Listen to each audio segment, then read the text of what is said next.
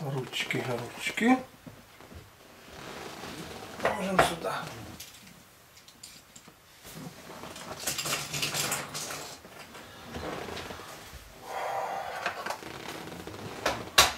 Наклонился и передо мной очки.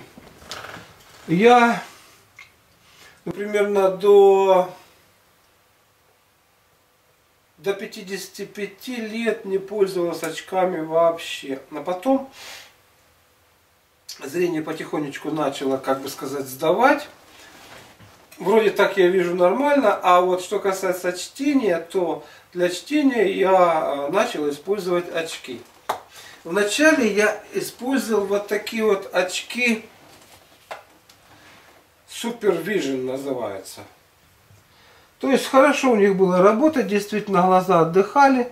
Да и сейчас можно работать. Вот так вот я так вижу. А в этих очках я вижу получше. Практически так же четко. Ну, немножечко надо привыкнуть. Вот, я использовал эти очки. Вот одни такие у меня очки.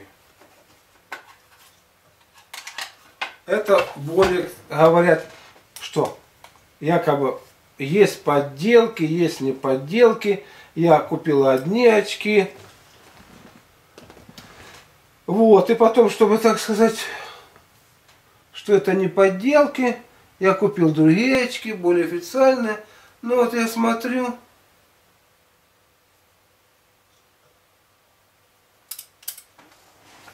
И мне кажется, сейчас я еще проверю вот эти очки. Что вот в этих, вроде бы не, не оригинальных, я вижу лучше, чем вот в этом. Может это подделка, это наоборот. Вот, очки. Далее, чтобы Далее, чтобы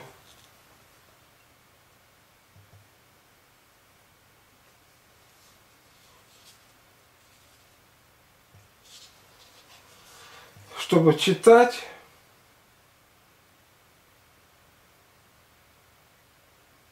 чтобы читать для, для чтения я значит э, разные очки были и вот это вот вот эти очки они для меня не подобраны. Я вижу все в мутном этом. То есть я читать них не могу. У меня двоится. Откуда они меня взялись такие классные очки, я уже сказать не могу. Вот. А вот эти вот простые очечи, я в них прекрасно вижу, читаю. Турненте.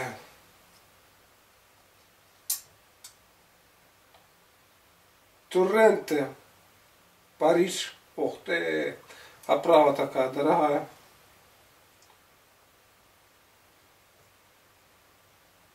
Фраме Made in Франция.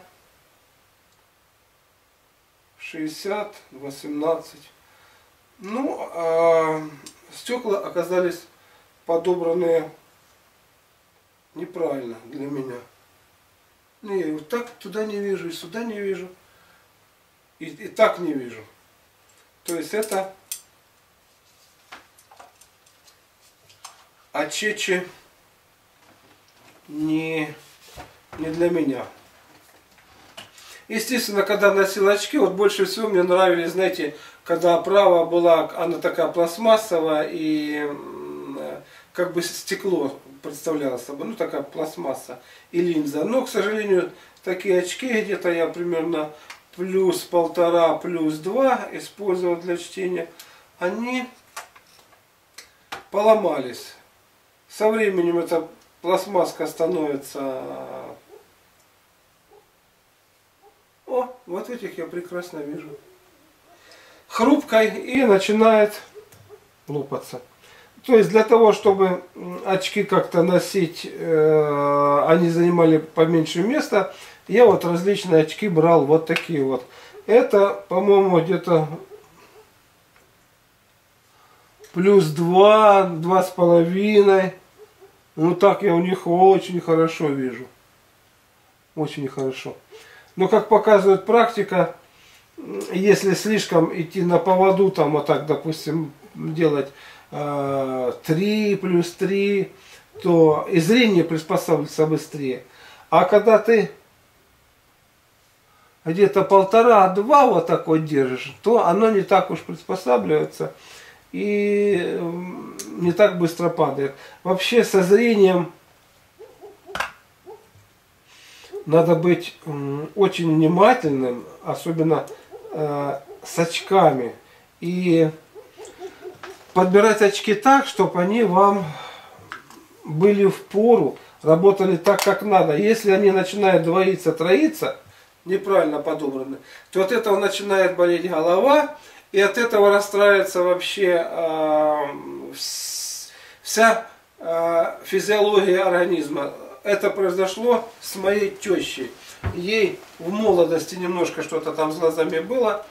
Приписали очки, от которых у нее начала кружиться голова. Она пожаловалась, а ей сказали, привыкнешь она привыкла до того, что она развалилась, понимаете, все здоровье рухнуло.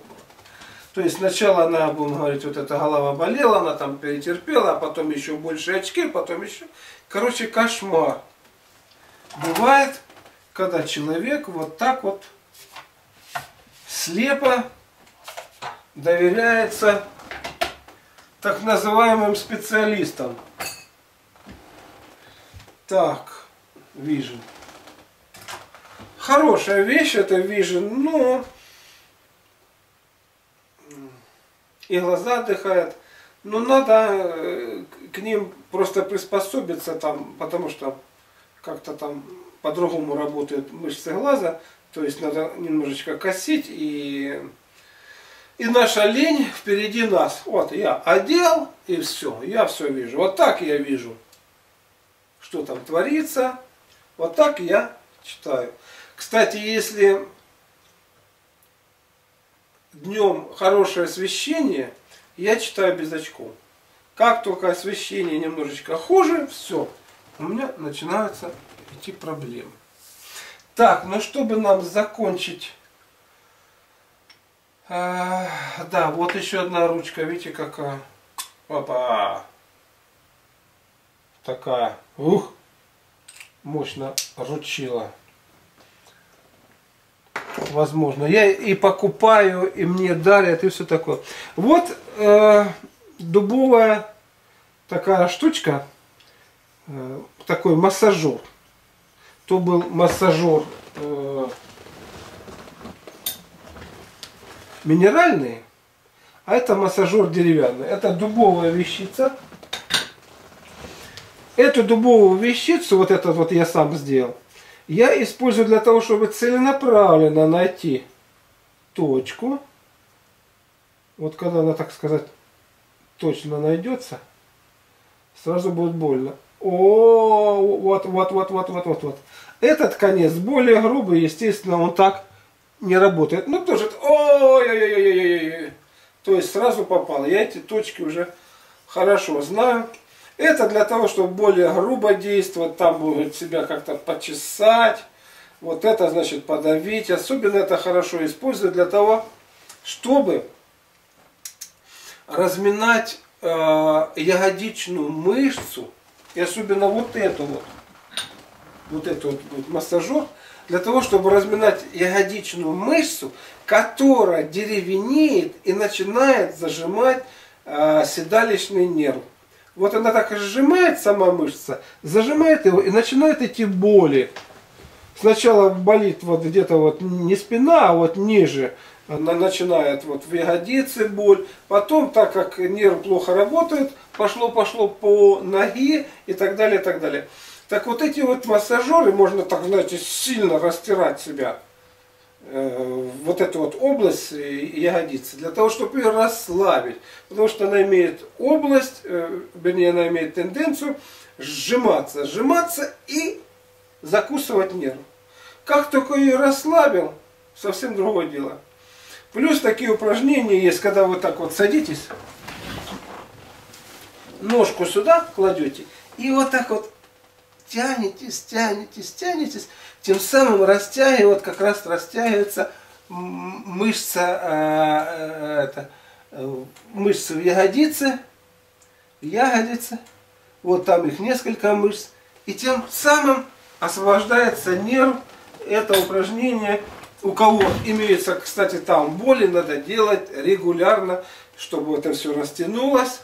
Дальше практически э, профилактически поддерживать, чтобы оно у вас не болело.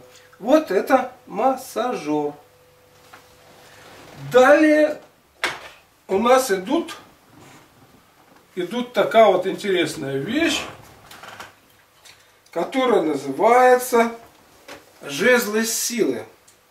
Весьма редкая вещь, но ее все-таки можно приобрести. Я их в свое время использовал для того, чтобы знаете, понять, как это все работает.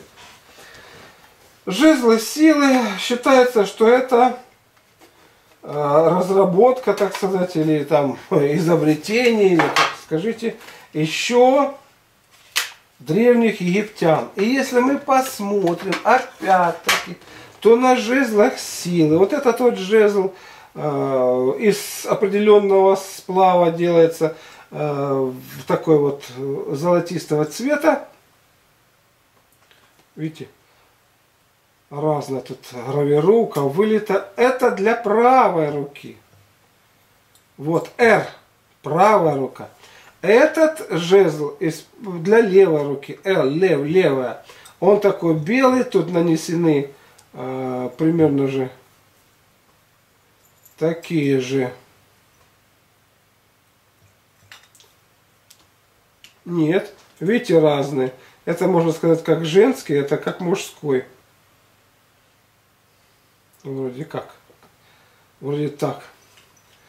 А, нанесены, значит, разного рода а, рисунки, какие-то иероглифы, какие-то вот значки, которые, естественно, по-своему соединяют а, левую и правую руку. Плюс, видите, тут разная разная, так сказать, гравировка идет, совершенно разная. Вот. Вот я смотрю. Если взять вот этот значок и вот этот, мы проворачиваем дальше. Что-то другое. Проворачиваем что-то другое. То есть совершенно различная гравировка, хотя тут что-то и есть похожие. То есть вот они вроде как, вроде они похожи.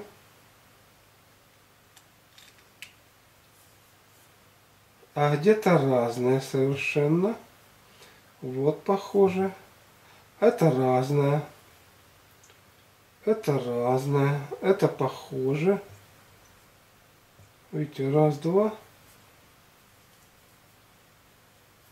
То есть по-другому есть. Плюс, значит, что здесь? Это все дело можно отвинтить. Здесь находится особого рода порошок. Не порошок, а я бы сказал толченые кристаллы, которые также соединяют, ну вернее так бы сказать, не соединяют, а они обладают своей собственной энергетикой. И когда мы что-то вообще берем в руки, тем самым мы это этот предмет, это вещество, эту энергетику, эти вибрации включаем э, в свою ауру. Работает это так. Мы берем в руку, это в левую руку, это в правую руку. Слышите?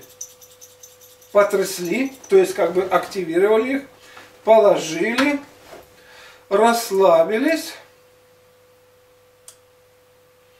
И вот просто расслабились, и что мы чувствуем? И мы начинаем чувствовать, вот я уже тут сразу чувствую, начинается гудение в левой и в правой руке. То есть пошло энергетическое воздействие э, особого рода на, на мое тело, на мой организм, на мою ауру, на мою сущность в целом.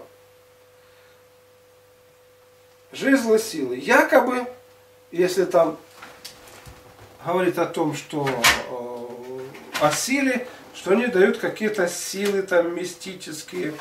Ну, я попробовать попробовал. Вот она лежит у меня. Дальше проб я особо ни в чем не продвигаюсь. Вот попробовал, то есть все уяснил. И на этом остановился. Теперь смотрите, что у меня есть. У меня есть вот такие вещи. Это я люблю, как вам показывал на поющих чашах, я люблю разного рода такие звуки, которые, ну, которые как бы облагораживают пространство, облагораживают ваш, вас, способствуют, значит, э, вашему настроению, в настройку на ту или иную волну. Вот, естественно, это и музыкальные инструменты. Почему я еще тут пытаюсь музыкой заниматься? Просто не у всех, знаете, бывает тям такой, какой хотелось бы иметь. А для того, чтобы развивать то, что есть, надо время.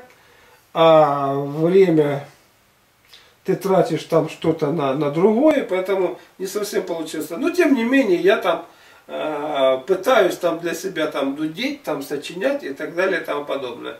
И вот различные, как бы сказать, музыкальные э, инструменты, они тоже создают свой особый какой-то фон настраивающий вас, знаете, грубо говоря, если бы вот вокруг меня там э, порнографические журналы лежали, или, или такой вот, или, значит, как бы сказать, э, видео там кассеты или с видеоиграми различными, там стрелялками, я бы был настроен на одну волну.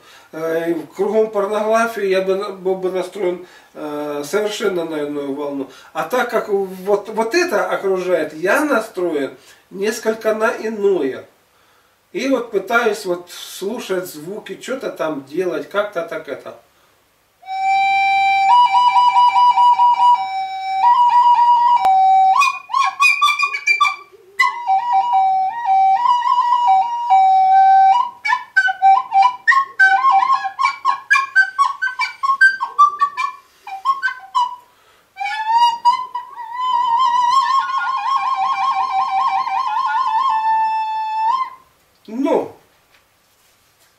Примитивно дудю будем говорить. Но тем не менее, вот хочется подудить. Ну на тебе, подуди. Хочется поиграть на губной гармошке. Ну, вот тебе губная гармошка. Поиграй на ней. Тоже, так сказать, знаете, вот одно дело хочется, а нету. А другое дело вот есть, а ты играй, а ты не всегда играешь.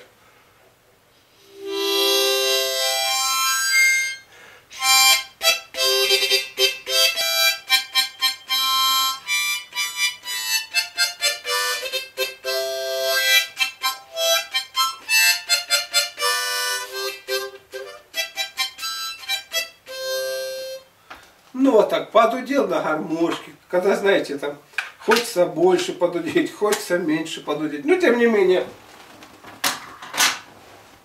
желание исполнено. Ну вот, насколько я так понимаю, лучше у меня всего получается игра на варгале. Вот это такая вот штучка. Значит, вообще этот варгал он э, в традиции очень у многих народов. Это какой-то вьетнамский варгал, и он мне нравится тем, что есть варгалы, которыми зубами надо соприкасаться. Так как у меня зубы уже там в пломбах, эти пломбы от вибрации повыскакивают. Вот такой губной. И я на нем наяриваю. Ну вот, например,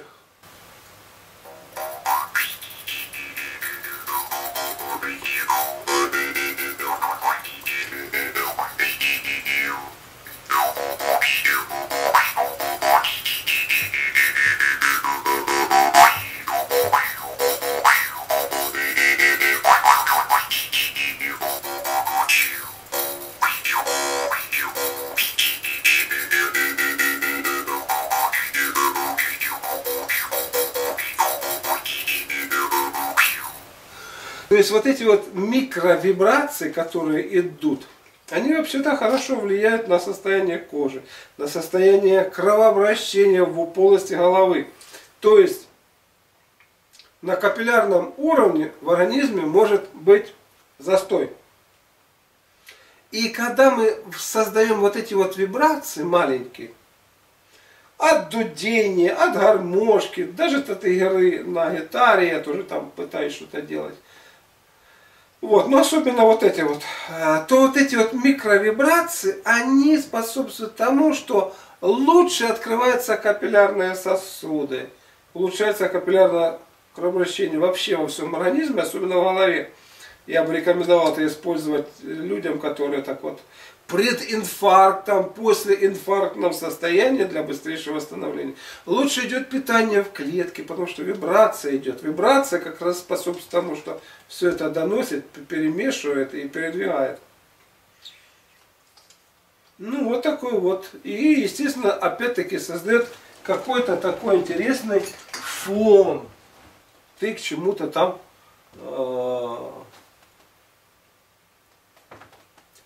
чему-то там, будем говорить, э, приближаешься, соединяешься или еще что-то.